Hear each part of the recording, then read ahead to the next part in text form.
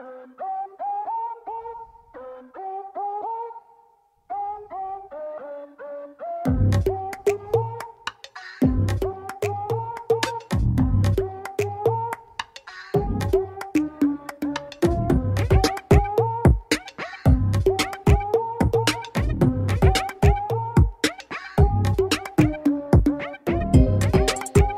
Welcome to BWI Live. I'm your host, Thomas Frank Carr. Got a fun show for you today because we're going to be talking about the past, present, and the future of Penn State football and some hoops at the end, plus some breakout stars for 2022 that's what we're going to be doing today is we're going to be giving you our predictions about who's going to be the breakout star offense defense and special teams for next season. And we're going to do that in the middle portion of the show. And we're going to ask for your audience participation to vote on who you think is the right answer. We're each going to give you our individual answers and then you get to vote.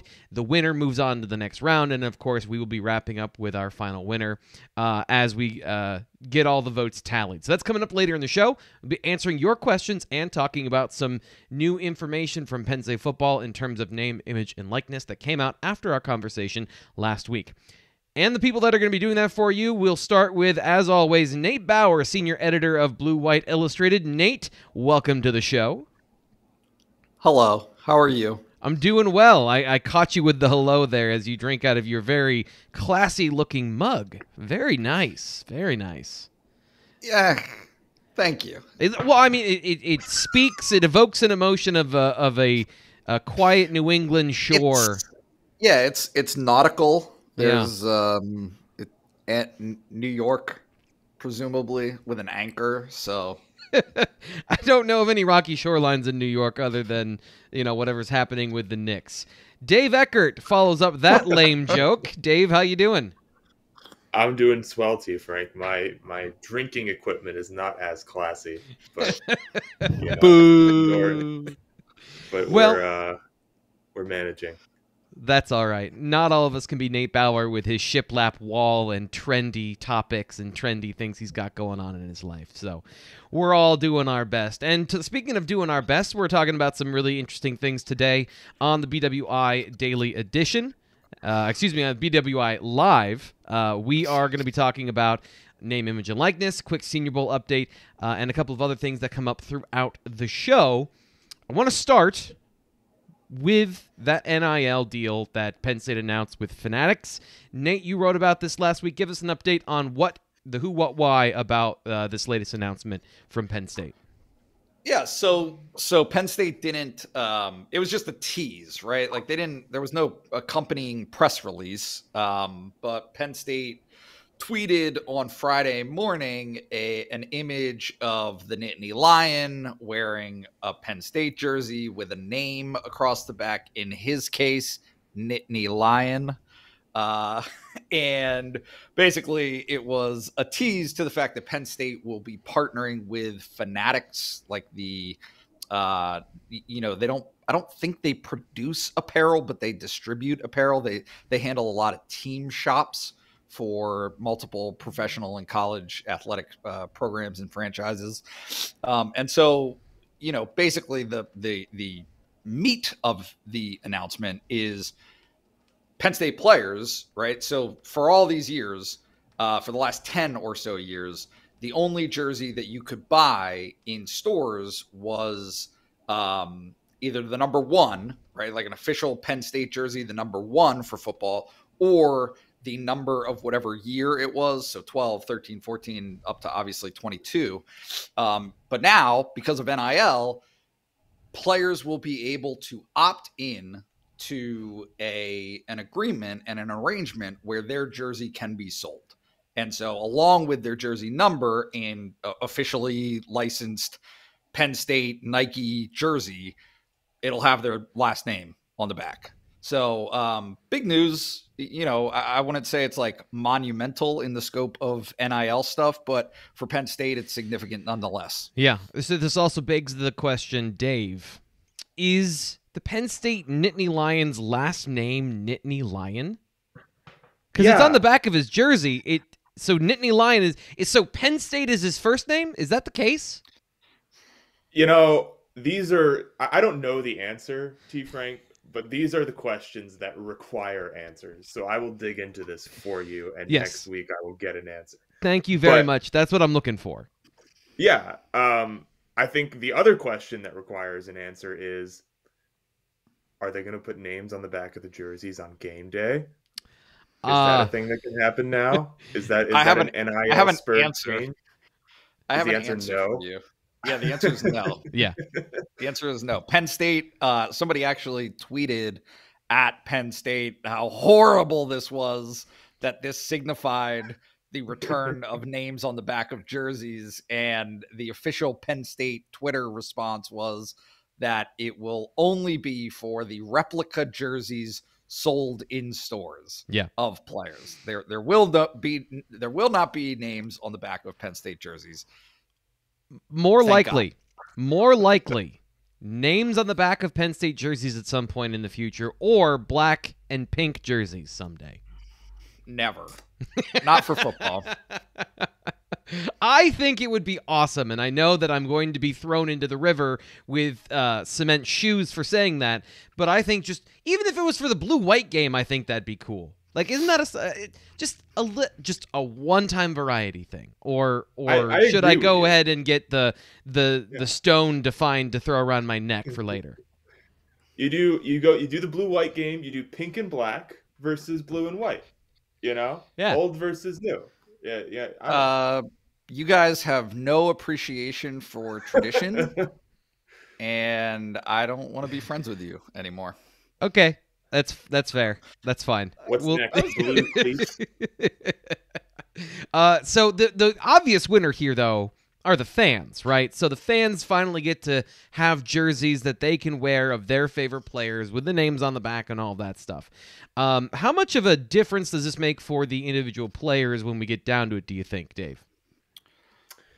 You know, I'm not sure. I just reading the announcement. There's there's not that much detail in there. I guess because it's not really the announcement. It's just the teaser of the announcement. But it's it's uh, it's February and we have we have airtime to fill. But Oh, but- don't talk like that. That's just the truth. um, yeah, I don't know. I, it'll it'll be interesting. I mean, certainly for the guys who y- you'd presume that guys who have more of their jerseys sold will get more money. I would guess. So um, I, I guess that for maybe your uh, Sean Clifford's, your Nick Singletons, your whoever, that this might be a, pretty big deal. Um, but yeah, I'll be interested to see how it works um, because certainly that was not laid out for us in the announcement. Uh, Nate, you've been doing a, good bit of work on this. Uh, is this? You said it, it's it's an incremental step, not the biggest step forward for the landscape, but um, is this a jumping off point? Is there going to be more stuff coming? Do you think, or is this just the necessary first step to, you know, open up revenue streams for the university and for the players? So, so uh, yes, I think it's. I mean, certainly for Penn State, it is. I think on the broader scale, this is the um, opening shot toward a NCAA football game returning to Yep.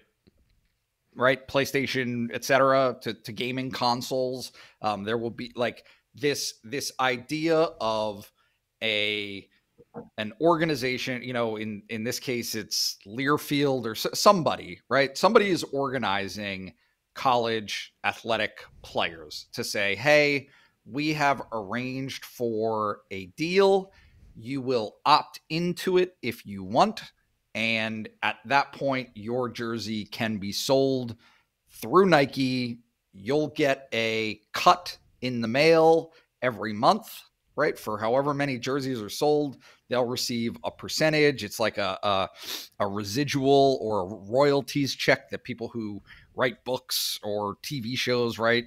Um, they get those, uh, and so it it preempts that right. Is is now in the future there will be the same organization that says okay opt in and you can have you can be in the video game and you'll get a slice right 20 25 cents a month or whatever it is uh, that it that it works out to for as many players as there are. Um, but specific to Penn State, yeah, I mean, it, it, if it's if it's if it's not the appetizer it needs to be the appetizer. Like this cannot possibly be the main dish of what Penn State is doing on an NIL front. There needs to be more after this that standardizes and and institutionalizes the opportunity for these guys to all make money in some capacity. Is is there anyone that wouldn't opt in? What would be the reasons for not opting in? Can you have your own individual deal? Yeah, I mean, I, I, I my guess would be that players who feel as though they have better bargaining power than the collective mm-hmm. will want to like it, it might become an attractive option for them but i would guess that, uh, like is sean clifford going to be able to negotiate with nike right no, sean clifford's no. team right exactly so maybe it's something you do where you you want to withhold that from somebody else being able to make money off of your name that's more than the cut that you feel like you're getting. But my guess overwhelmingly is 99.9% of players in college football are going to be ecstatic yeah. To participate in something like this, even if the kickback is pennies. What about basketball, Dave? And how does that work? I know that uh, shoe deals are a huge thing when it comes to, and apparel deals in general are a huge thing that when it comes to basketball. A little more of an individual sport.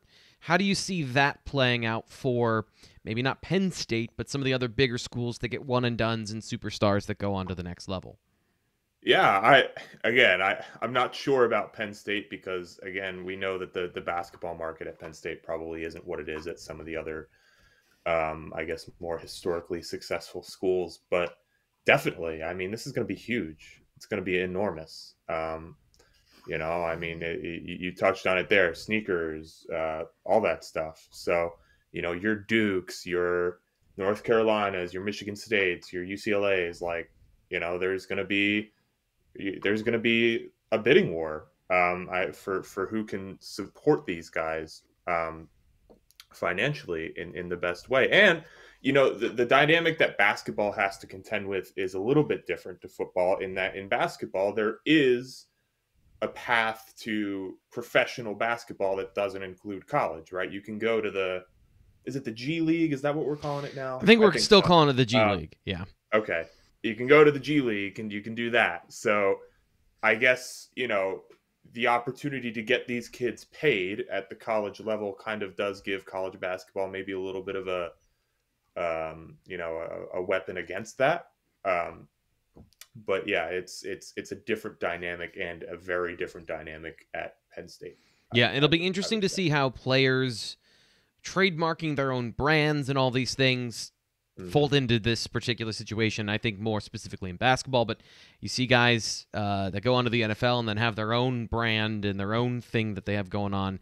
Uh, we'll see. It's just it's gonna be it's gonna be interesting. I, I've always thought that if if you're looking for money to pay players or to give them a, a cut of things, like why is it not in your Penn State's contract with Nike that are athletes on the field that are modeling your jerseys and looking great in them they also get a piece of this, and this seems to be, I mean, a part of that, but not specifically with a, with one particular apparel brand. It's with you know a, a third party company so just interesting interesting to see how this is going to play out over the next uh, year and a half while we find all of the pitfalls which is going to happen uh, so, a couple of other things we want to talk about on the show today. First off, is what you want to talk about the BWI Live show here on Monday at noon, covering a wide variety of Penn State topics from on the field, off the field. We're going to be talking about recruiting in just a little bit. But whatever questions you may have, drop them in the chat. We'll be talking to you about things you have on your mind. Uh, that's coming up in just a little bit. And of course, if you want to donate to the channel, super chats are always super appreciated. And we'll make sure that your question, your comment, your statement, as long as it is not vulgar and it is not uh, inflammatory in some way, gets on the screen.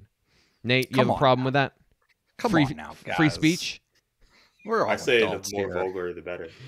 Oh, Dave. you guys are you guys really love making my job easy, don't you? You really love making my job easy. Uh, so the Senior Bowl happened this weekend, and I know Nate, you were watching, and, and if you want to sign up for Blue White Illustrated and follow along, we have game chats for everything, even the Senior Bowl. Watching Why Jesse not? Luketa on, uh, he was on the uh, American side. The American side. Okay. Yes, the American side. So after watching, what were your thoughts on how he performed at defensive end full time? He had a great, Whole great game. day. Great day for uh, Jesse Luketa at defensive end. The whole game. I don't know why he was announced as a linebacker for the official Senior Bowl. You know, unveiling the the week and a half prior to the game. But yeah, no, he he was he was very good. He wasn't. and, and this is, and I think that you can speak to this maybe a little bit better than I can, T. Frank. But it's not that he was a dominant presence on every play, right? Like, I mean, he, he got washed out a couple of times. Uh, he, he wasn't active in everything, but specifically, he had two sacks, and one was a strip sack during a potential scoring opportunity for the other team. Uh, and then the the last was in the fourth quarter when the other team was kind of making a, a late comeback. The national team was making a late comeback, and both were like big. You know, again, I mean, we're speaking in the context, obviously, of an, an all star game, but they were big plays in the context of the game. Yeah. and so uh, you know, I would think that he probably made some money for himself, uh, demonstrating and exhibiting that he can compete against future NFL. Uh, let me think about this. He was on the left side of the line, so right tackles. Yep. Um, for Yep. most of the game. Um, but yeah, I mean, he. I don't think that he could have asked for a better day for what he was asked to do. Yeah, and we saw some flashes. Now, I have an opinion about uh, Daniel Faalele from uh, uh, Minnesota in general, but we saw a lot of highlights of Jesse Luketa coming uh, uh, in the week as well when he was going against uh, some of the other players at that position in the Senior Bowl. There are still moments where you watch him learning to rush the passer. So there was one particular play that that uh, happened in the first half of the game where he absolutely whips the tackle, fakes outside, goes inside. The guy almost falls over trying to reach inside, and then Luketa spins back outside because he thinks he hasn't won it yet.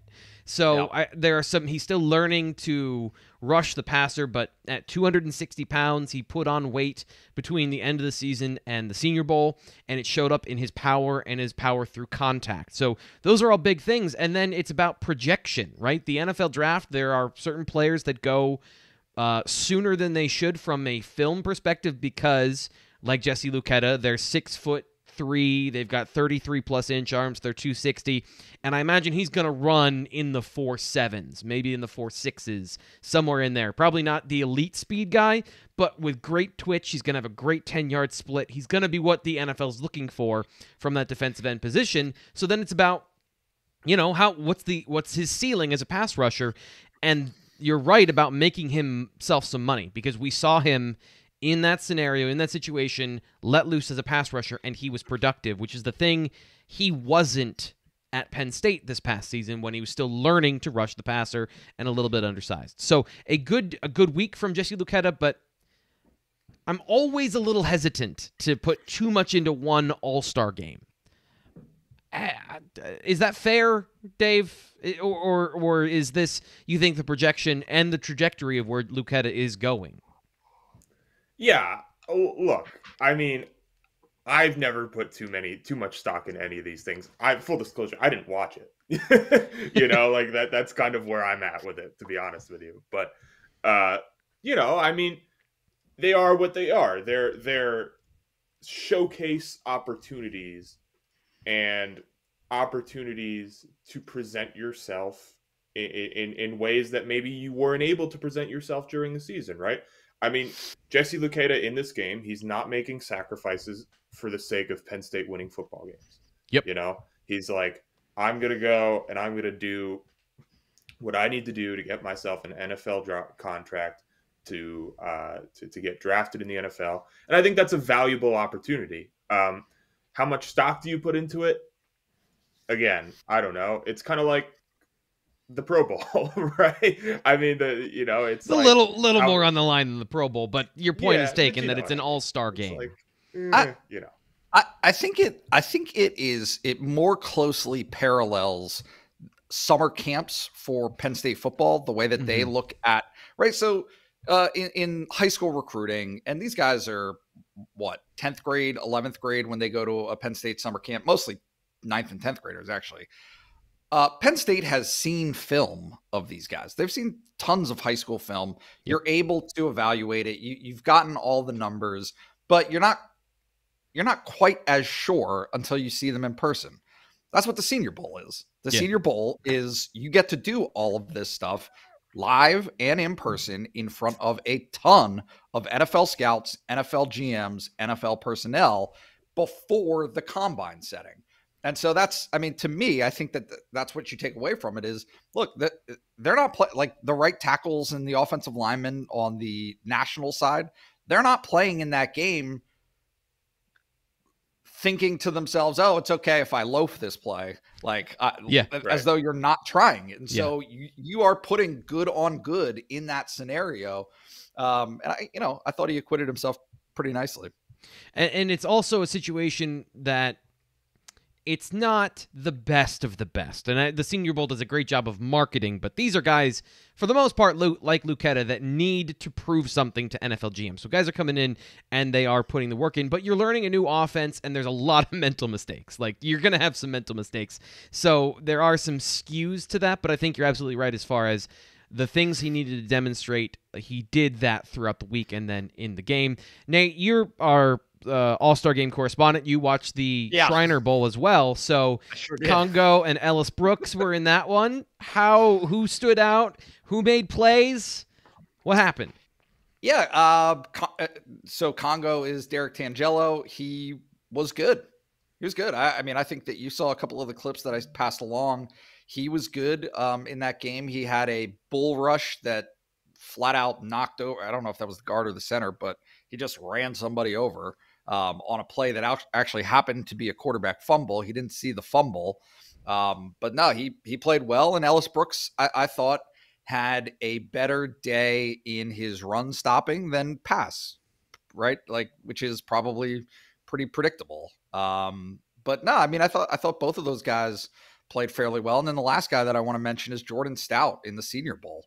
Um, right, like not not that anybody is uh, you know going nuts over the punters and kickers in a Senior Bowl, uh, but he exclusively punted. I thought that was significant. He, he didn't take any uh, PATs or field goals, uh, and he absolutely crushed the ball as a punter. Uh, his first punt was 65 yards.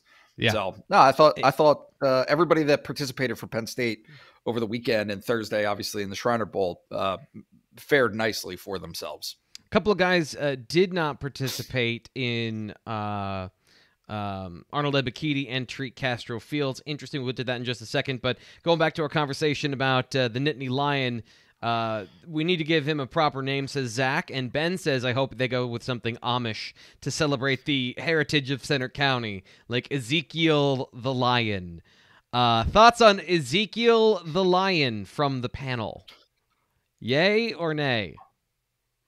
I'm not touching it with a 10 foot pole. don't cancel me. I don't know. Uh, if there's one group of people that are not going to cancel you, it's the Amish. They don't use electricity or have the internet. They're not watching. Let's- they might they might be on Rumspringa right now. Okay, they might be. They're watching BWI live on on you know because they get the Notorious break where they football can- fans, those Amish. Uh, the great Amish that make your your excellent furniture makers, excellent furniture makers. Uh, getting back on track with the show. Getting to your questions in just a second. Some good stuff here in the chat that I want to make sure we get time for. Uh, but also, Penn State's future in 2022 and beyond is obviously not in a vacuum. You have other teams that have their own offseason storylines, and one of them that was, I'm just going to say it, weird last week was Jim Harbaugh and the situation at Michigan. there has been a lot of turnover in a very short time for the Wolverines. Both of their coordinators have now left. Harbaugh went to interview with the Vikings in the NFL for nine hours. The reporting was that he was going to be the next coach at one point in the day, and then magically, poof, he's back at Michigan two or three hours later. A week after that, Josh Gattis now the offensive coordinator at Miami for Mario Cristobal. Dave, what do you make of all of this for Michigan? Um, as a Vikings fan, I'm glad that Jim Harbaugh is not my head coach.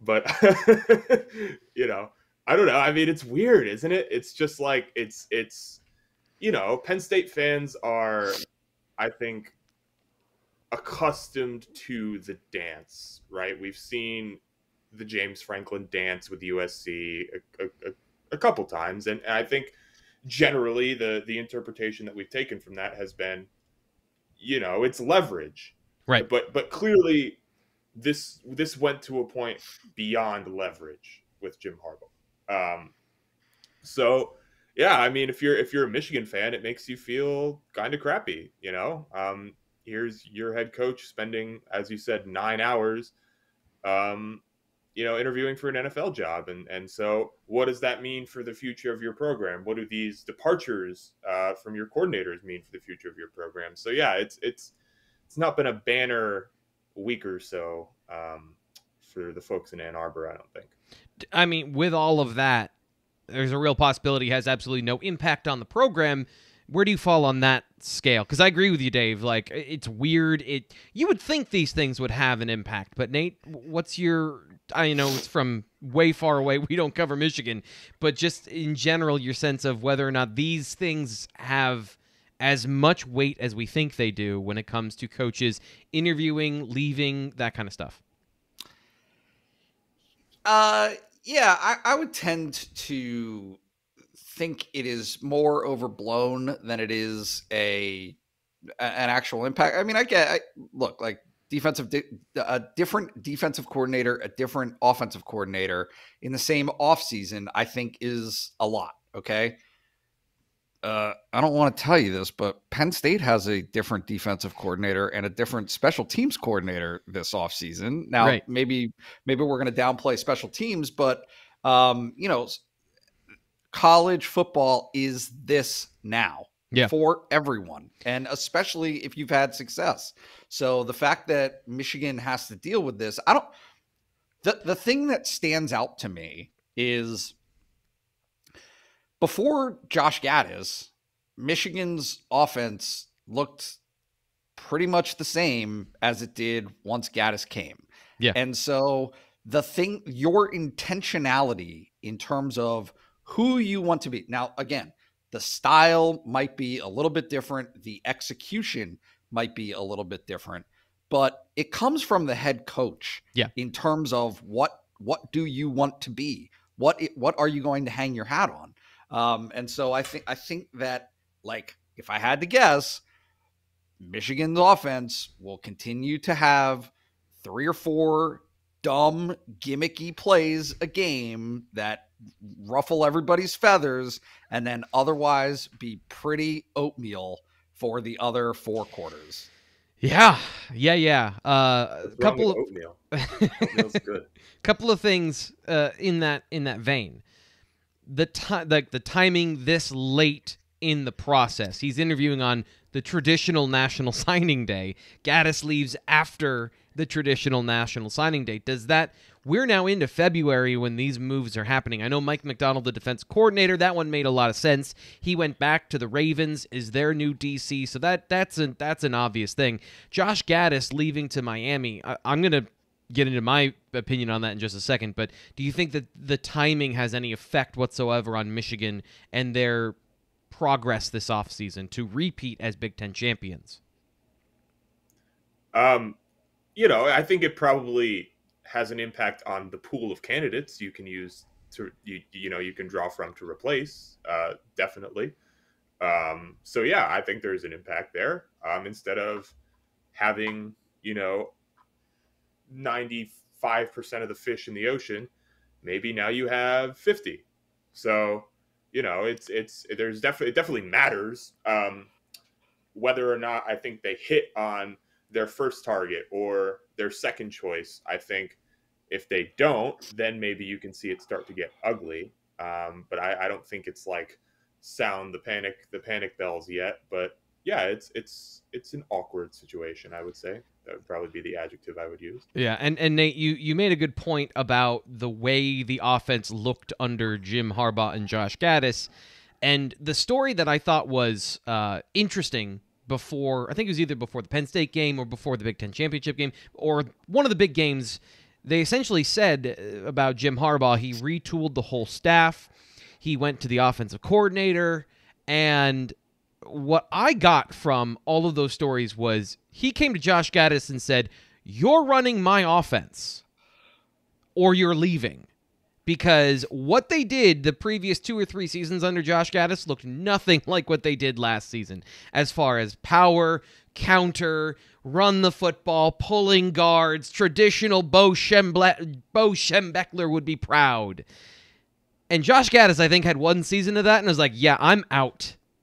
I, I I think that that's pretty clear to me that it it was it was an ultimatum and Jim Harbaugh went full Jim Harbaugh and he was rewarded for it this year.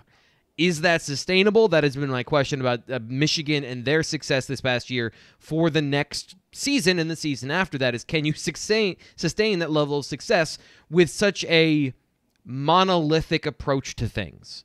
Of we obviously know where we're going with the football. You obviously know where we're going with the football. And when that happens and you play a team in the college football playoff, you get the result that you get. Also against Iowa, where they didn't score points for like 35 minutes.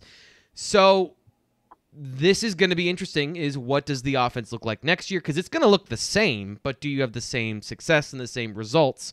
And i just i don't believe jim harbaugh came back willingly and i don't believe that jim harbaugh is staying forever like he keeps saying. I, the, he's not done chasing the nfl i think there are other opportunities he wanted to get to that he couldn't this year and that's really why he's back at michigan.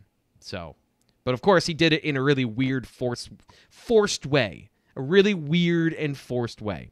Speaking of weird and forced ways, let's go and talk uh, to the audience and see what we have in the chat. Um, and that's me forcing that transition. Your questions and your comments are all exceptional. Ben asks, "Will there be equi- equitability throughout the country?"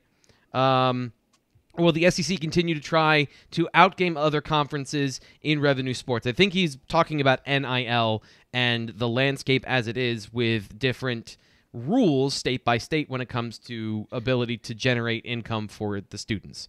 Uh, Nate, your thought there? Yeah, I just want to make something clear. Uh, the Big Ten was the first conference to try to outgame everyone else with a television network of its own. That was outgaming every other con- like this has been going on for all of eternity and will continue to be the case of you better be acting in a way that will help your conference stand out, draw the most talent, right, the best personnel, uh, and and stay competitive nationally. And I don't think that Penn State or the Big Ten, I should say, is positioned right now to do that. Like the the, the they better figure it out uh, as a conference moving forward. Dave. Yeah, you know, same, kind of on the same boat. I think the SEC is playing a little bit of a different sport right now, um, and and Penn State, Penn State in the Big Ten and the ACC and the Pac-12 and all these other conferences that that want to and and view themselves on the same level need to get there somehow. Um, and and I don't think they're that close to doing that. Uh, Zach has a question, and this is an interesting uh, thing that I think we're going to have an answer for pretty clearly. Should you make names on the back of the jerseys a part of the Generations of Greatness uniform? Um, at least with the all whiteout games. Uh, I think this is. Hold on. That was the question I was trying to pull up. Uh, oh, here. This is. Should we make Generations of Greatness our primary uniform? Make an away version of that. He thinks it'd be cool, at least for the whiteout games. You guys, I I like the Generations of Greatness game uh, uniform. I think it's pretty cool. I think it's pretty clean. I don't know if you guys are big jersey guys when it comes to like the aesthetic of them. I'm usually not. But do you have any thoughts on how important that is uh, to Penn State fans and and making any alterations to the jersey uh, outside of black and pink or names on the jerseys. Anyone Dave. can take this.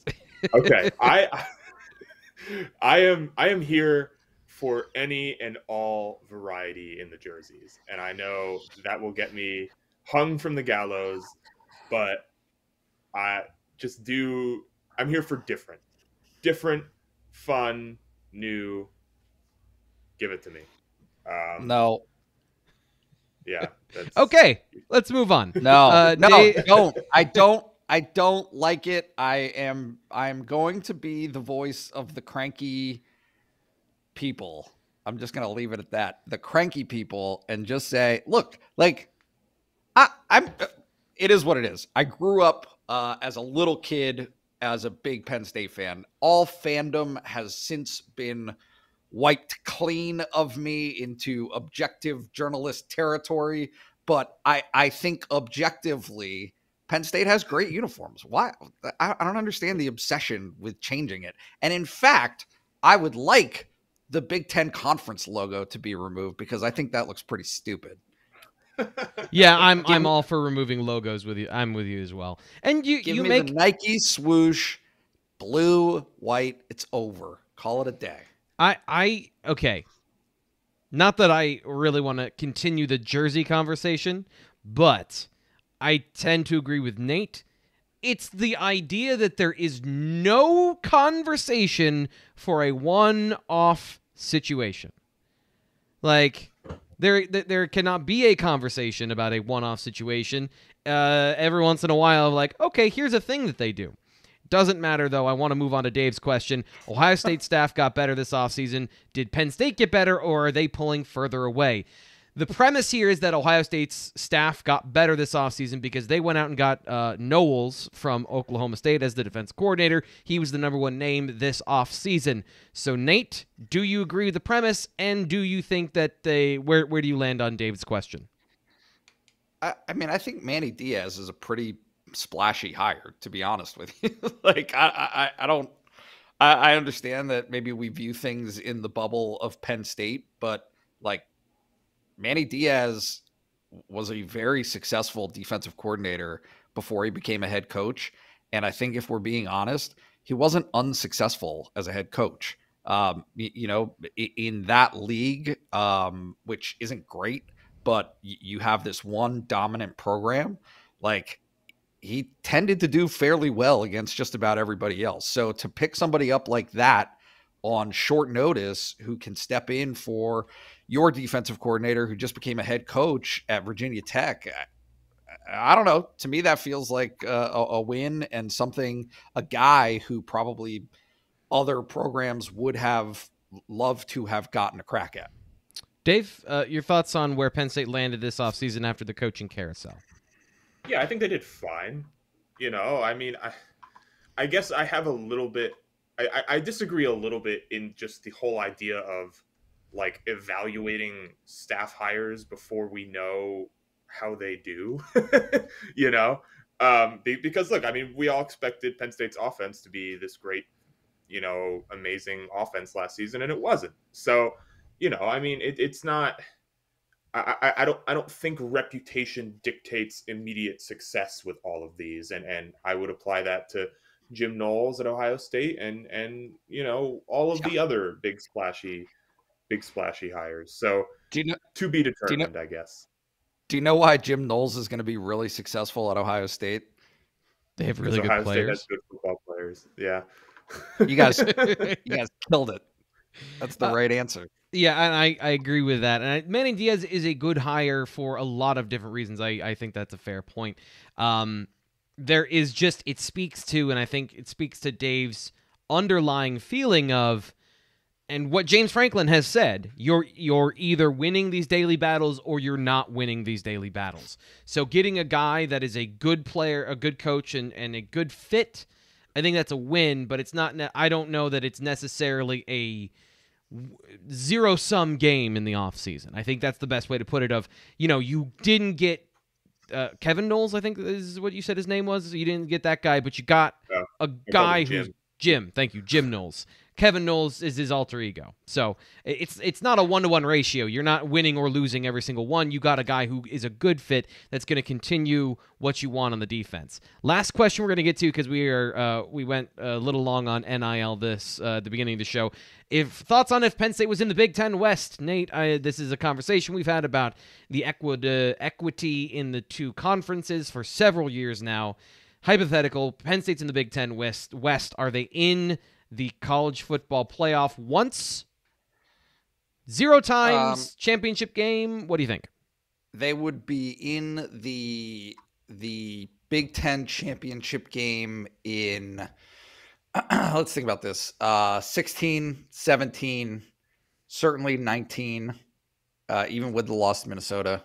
Uh, yeah, so no, three. I mean, three three Big Ten West um, division titles probably in the last five years, uh, six years. So no, I mean, I, look, like I, I just, I just think it is foolish to pretend as though that side of the conference is in any way comparable to Michigan State, Michigan, Ohio State, and Penn State all being in the East. They're just, they're just. Yeah. I'm sorry, Wisconsin, Minnesota, and Iowa being the standard bearers on that side of the division, it's not that's not they're not good. Like they're not good that level good. Husaria asks, see a lot of noise about new offensive line recruits thanks to On Three. Is Trout coming into his own, Dave? What do you think? Yeah, I mean, uh, you got to be excited about about the the ratings um, of the new prospects that Penn State is getting. Um, J'ven Williams, I think, is a top 150 guy, um, borderline top 100. Um, Alex Burkmeyer, another guy, top 100 kid. So um, the 2023 class looks great on the offensive line. Uh, um, it looks like uh, Phil Trautwein is is doing what he needs to do in in recruiting. Um, but I think before those kids even get here and put themselves in a position um, to play and and and and be options. You, you, there's improvement that needs to be made with the people that are already on campus. Um, yeah, so, I think that's yeah, that's a that's a fair point. And it, these players are coming in for the class of 22, 23, and 24.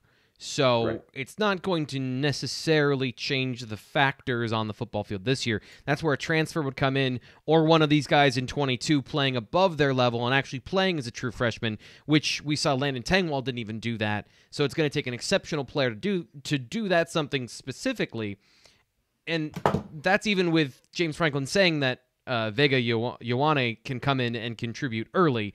I don't know what that particularly means. If it means depth starting special teams. So there is some optimism, but you're right, it has to eventually trickle onto the football field. We got to move on because we got to play our game this week when it comes to uh, getting people involved and getting us to compete against each other. See who's going to win, who's going to lose this week as we go into some of the predictions for 2022. Get this set up here for you. What is uh, your prediction for the Penn State breakout player on offense. Here's how this is going to work. Uh, the guys are going to give their case, they're going to give their player, they're going to give their reasoning, and then you in the chat are going to vote as to who you think has the best answer. Uh, and then I'll make sure in the chat you know when we're closing down the voting so that you can get your vote in, and whoever is the best two in the first two rounds move on to our third round. So, Nate up first. Let's see if I can do all of this right. Uh, he is going with Nate. You are going with Nick Singleton as a breakout player on offense in 2022. State your case, please. He uh, Penn State needs a really good running back, and he was the best one in the country last year. So that's it. That's the whole case. Um, it's it it is like if he's not Penn State's breakout player, uh, I think that we'll be having very similar conversations uh, after the season that we are this year. Dear Lord, I don't want to. I don't want to have the same conversation next year. Okay, so, um, Dave, you're up next, and you picked Theo Johnson. Tell me why Theo Johnson is the breakout player in 2022. Well, I was going to accuse Nate of cheating for picking a true freshman first off, but then I realized that I did that for special teams, so I'm gonna I'm gonna skip that. But you know, I, I think Theo Johnson is he has all of the physical traits. He has proven um, you know, at the at the high school level and in flashes in college that he can he can be an effective receiver of the football, and I think that Penn State desperately needs that from its tight end position and did not get it this year. So another year older, another year wiser. He has all the the physical tools and gifts that he needs. Um, I think he's he's the guy. And I'm going to go with my guy Landon Tengwall. Um, here's the deal. Uh, if Nick Singleton's going to be a breakout player, or if uh, Theo Johnson's going to be a breakout player, something needs to happen on the offensive line. And the best possible candidate for change up front right now is the redshirt freshman who played very well last season, was a mature player coming into the season, and uh, he is slotted to start and be one of the best players on the front five. And and and that might be dangerous to say about a freshman who we've only seen less than 200 snaps from, but I think that is I, I just see too many things in him that are difference making along the offensive line that are good, solid, fundamental, strong things, and he's going to be getting bigger and stronger as a player this offseason. So a high starting base. But the question then becomes is he a breakout player if these other guys do break out? And uh, we're wrapping up the voting here. Last closing arguments from you will go in reverse order. Dave, last closing arguments for Theo Johnson. Anything you want to rebut from what other people said? Not really. I'll be nice. I just think he's he's good at football, um, and he's good at football in a position where Penn State needs somebody that's good at football. So, you know, I I I, I won't negatively campaign here. Nate, drag us into the mud. Yeah, I mean that was nice uh, and sound reasoning, but uh, you know, look, I I picked the slam Dunk, I picked the slam dunk. I, I don't know what else to tell you. Like they desperately, desperately, it's Penn State has a lot of very very serviceable pieces. Like I, I mean that's to me the the clearest part of last season was if you looked at Penn State's offense, you saw a middling quarterback uh, surrounded by pieces that, when asked to carry more of a load, couldn't outside of Jahan Dotson, right? Jahan Dotson was a superstar, but that was it. Like there was nobody else to talk about. They, you have to have a couple of those. There needs to be two, three, four. The more you have, the more success you're going to have. And so Nick Singleton represents that for Penn State moving forward. I know it's a lot of pressure to put on his shoulders, but like that's the standard that he's bringing uh, to Penn State uh, upon his arrival. We may be uh, experiencing the first thing I feared uh, with bef- uh, that I, I was worried about might happen last week, which is that, uh, and it didn't last week, that I believe the chat's a little bit behind us on the video. So our vote is going to go to Nate for having the correct answer and yes. for having the most positive answers in the chat. But we, uh, uh, the audience participation a little bit lagging because I think the video is a little lagging today. So apologies for that. I'm going to vamp here for a little longer, and then we're going to get into our breakout player on defense. So guys, we're going to go into defense now. Your breakout player for defense is Nate as the winner of the first round. Give us why Adisa Isaac is your guy.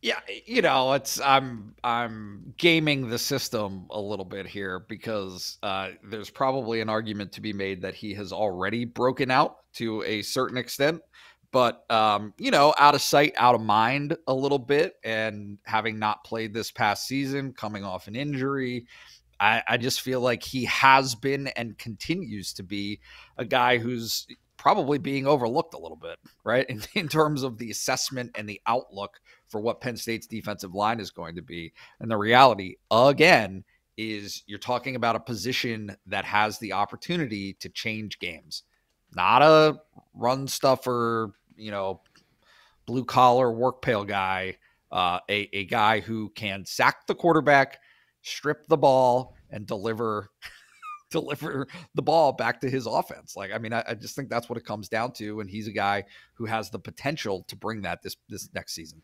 So Nate is going with a six foot three, 244 pound defensive end who doesn't play the run. Dave, you are going with Kalen King. So? King. I am absolutely going to sway the voting on this one. Dave, you're going with Kalen King. Give your reasons why Kalen King is the breakout player for this next season.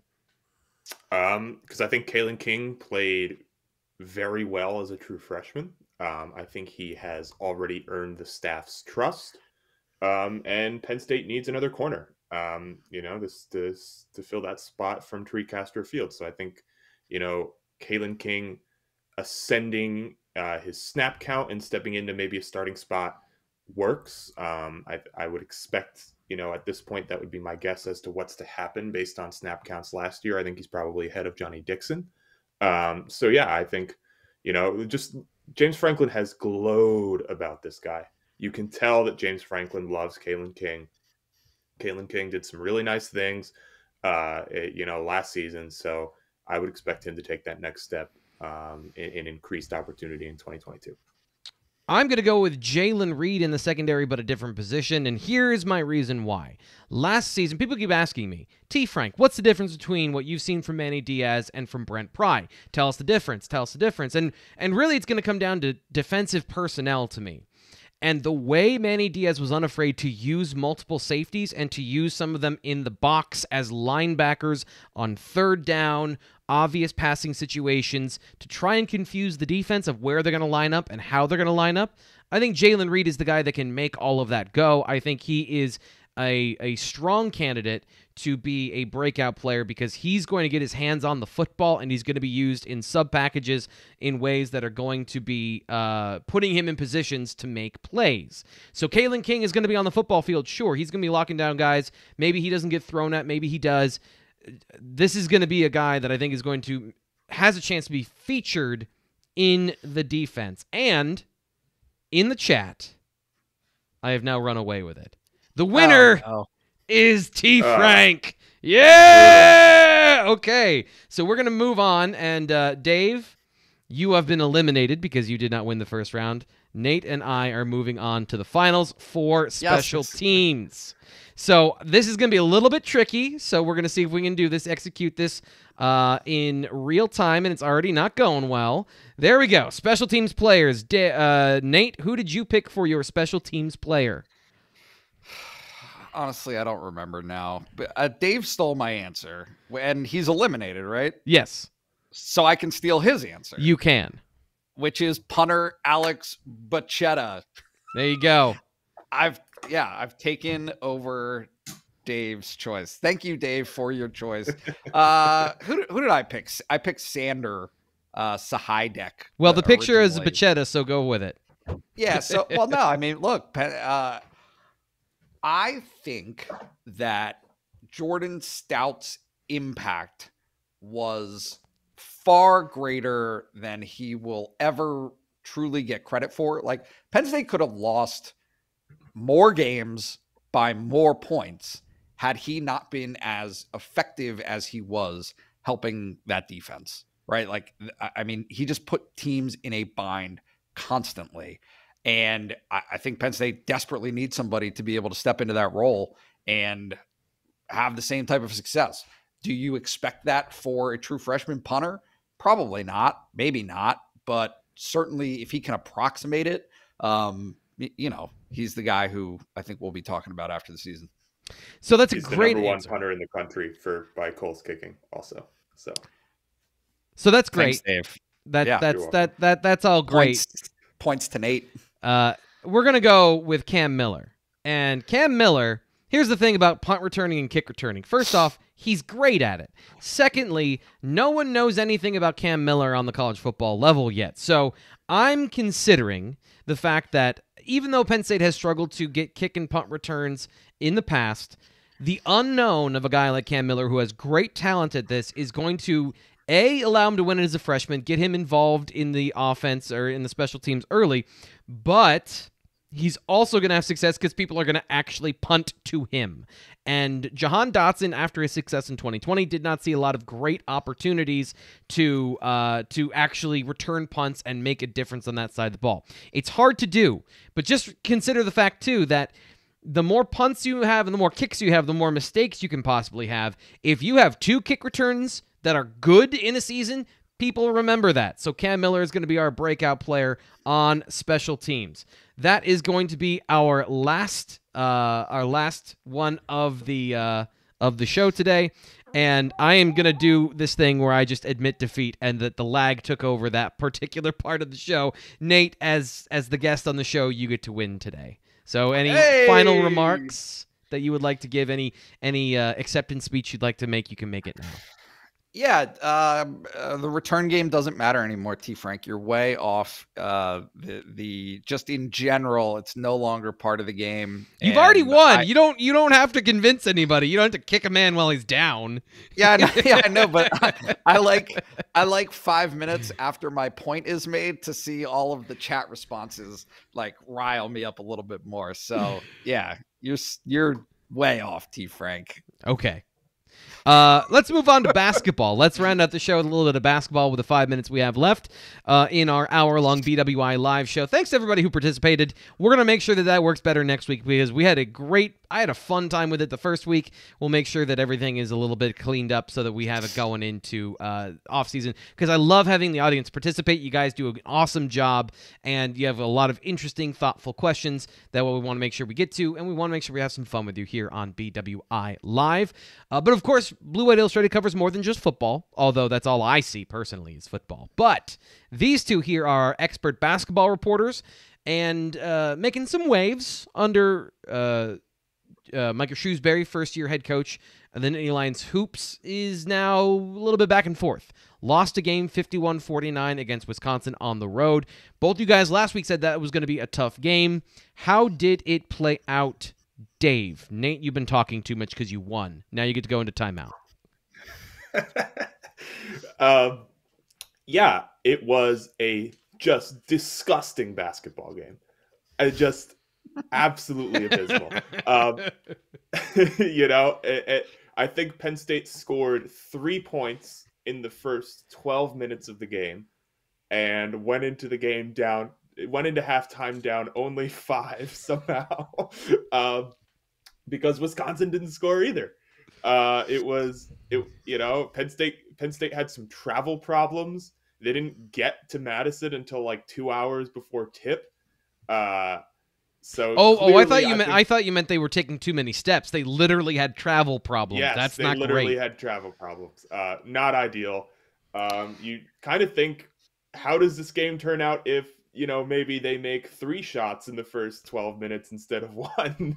uh, and maybe they're in a little bit of a, of a rhythm after their travel nonsense. But yeah, you know, it, it's it's not a game that you expected them to win. Wisconsin's good; they're the number eleven team in the country.